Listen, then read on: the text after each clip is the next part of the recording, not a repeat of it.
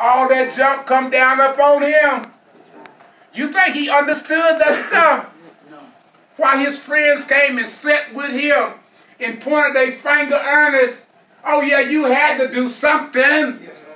No, no, no. You, you would be suffering unless you did something. You had to sin, Job. But Job did. He hadn't messed up. No. Huh? Job had a relationship with the Lord. Yes, he did. And he knew the Lord. So he knew when things like that happen, I, I, I might not understand it, huh? But, but I'm not going to question it. That's right. I don't care what my wife say. Woody, but you suffering so much, you need to go cuss God and die. Well, I feel like doing that, but I'm not going to do it. That's how bad off he was. Yeah. But he didn't understand, you know.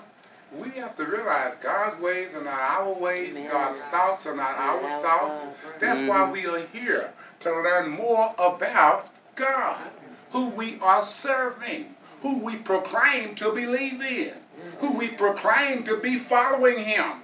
Huh? And most, a lot of Christians right now have been following Him for 30 or 40 years in church. But Craig, when you see them, sometimes their life haven't changed a bit. Exactly. But still, teacher, can may, may I ask you a question? Yes, sir. Do you think it's because they don't that they don't know God, or because they don't recognize God as God? Probably a little bit both. Probably a little The, reason I'm asking that, the scripture said I understand. that, that they knew Him as God, Mm-hmm. but glorified Him not as God. And so, Romans- Romans and so, and, and so, as a result, I, I, I, I, I think one of our biggest problems is we don't we don't respect God as God.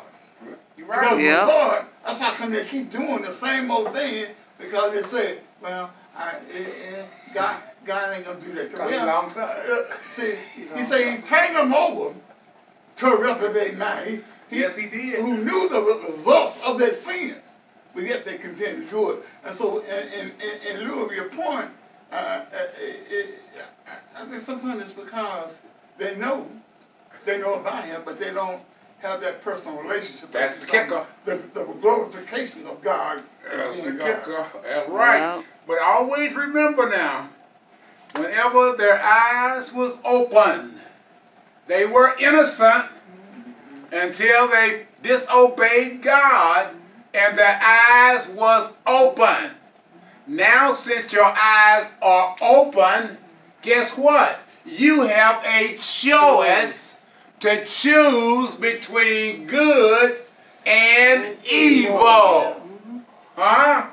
So it's all up to the choices that you make. But once they messed up, sin in it into the world, didn't it? Yes. I mean, and, and, and their mind became diseased. Sin's like a disease, isn't it? And when, when you study sin, it's like a disease. And if you would look at it, I said their mind had became diseased because of the fact that they disobeyed God and sinned. Now, now, if you ever study diseases, the study of diseases is called pathology. Y'all know right from wrong. Huh? Paul said, when I have the will to do good, evil was still there. The things that I wanted to do, I found myself not doing. The things that I didn't want to do, those were I found myself doing. Why? Because of sin. My mind is diseased. Now, I can't make the right choices. Even if I tried. Man tried that all over 42 generations, realized they still couldn't make the right choices. But God said He's going to have to do something about that. that. That's why Jesus came, would He? He came because of the fact that He had the cure uh, uh, uh, uh, for, for, for, for a sin-sick mind. He knew man was diseased. We come up with a lot of cures for all kind of disease, but they couldn't not come up with the cure for sin. It was only Jesus that brought the cure for sin. And what was the cure for sin? When they pierced him in the side. Hmm. Blood and water come out of his side. The water for, for cleansing, the blood for saving. So, so once you had that diseased mind, that, that sin, you had to make sure that you found that fountain that was filled with blood. That was what drawn from Emmanuel's vein. That's why he says sinners, sinners can plunge beneath that flood and lose all their guilt and stain. Jesus bought the cure for sin by shedding his blood. Yes, he did.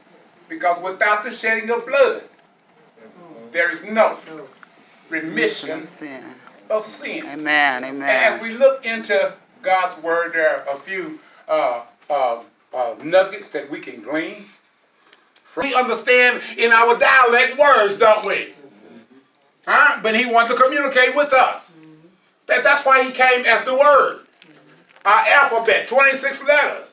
Right? We have vocal cords, don't you? You have a tongue back there. How to help you form certain forms and, and sounds and, and words. And words make sentences, and sentences make paragraphs. It don't make sense to say one plus one. When you go to school, one plus one plus one equal what? Three. I mean, that's that that's our comprehension when we see our mathematical numbers.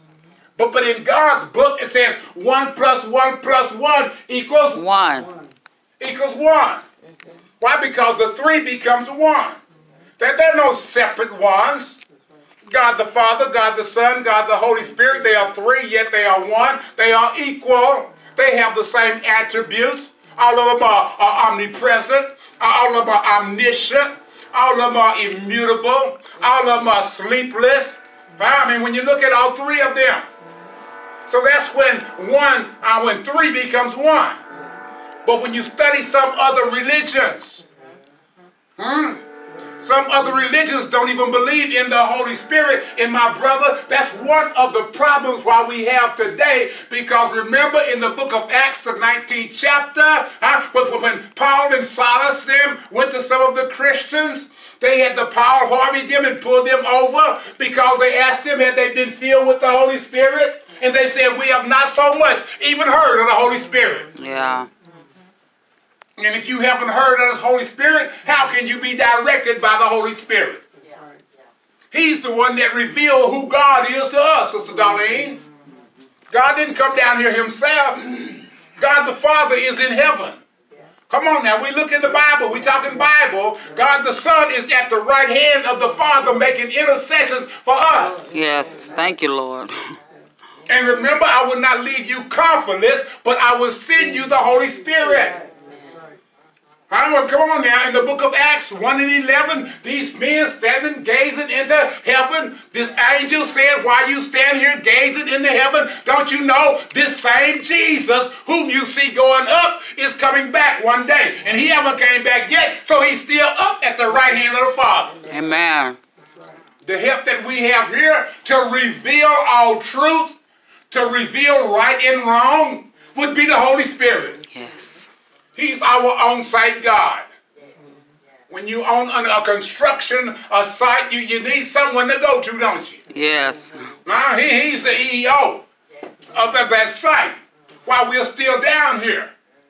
You have to go to Jesus to get information and instructions huh, through the Holy Spirit. People don't realize and believe that. And you hear them up calling on God all the time and all that kind of junk. You can't do that unless the Holy Spirit communicates for you. Because you don't even know what you want yourself. and God ain't trying to look at all that sin and stuff on you. Thank God for the blood of Jesus. Yes. Because when you look at us, he see the blood of Jesus, don't you? Yes. But see, you have to know him to understand this stuff. Mm-hmm. If you don't know him, a lot of this is foreign to you. You're talking about the Trinity. Some religions don't believe in the Trinity. Y'all do know that, don't you? Mm-hmm. I mean, literally, they don't believe in no Holy Spirit. Mm-hmm. Some of them don't even believe in Jesus. Mm-hmm. Some don't even believe that God had a son. Come on, God didn't have no kids. Right. And some talking about God had another son. Y'all need to know that you know that you know what you know. Yeah. Yeah. And don't let nobody turn all that stuff around. Because it's some stuff out there. That's why the Lord always have a nucleus, or I would say a small number of ambassadors to work at the embassy that he set up down here. Most ambassadors that work at embassies, they're either bilingual or trilingual, don't they? They have to know their language and their culture, they have to know our language and culture. When God set up his embassy down here on earth and called us to be ambassadors at his embassy, guess what? We are a bunch of has-beens. You right. No, you right. you can't work unless you know two languages. You got to know the language of the world. You got to know the language of God. We were has been, has been drunk, has been alcoholic, has been drug addict, has been a liar, has been a cheat, has been a thief. We a bunch of has beens. But because of God's grace and mercy, we're not has beens anymore, Ernest. Right. Tell the truth. We can work at the embassy as an ambassador, and we know Christ well enough and have a relationship with Him well enough that we can point someone else to Jesus because we can tell them, I used to be a drunk, I used to drink all the time until one day somebody told me about Jesus. Amen. Amen.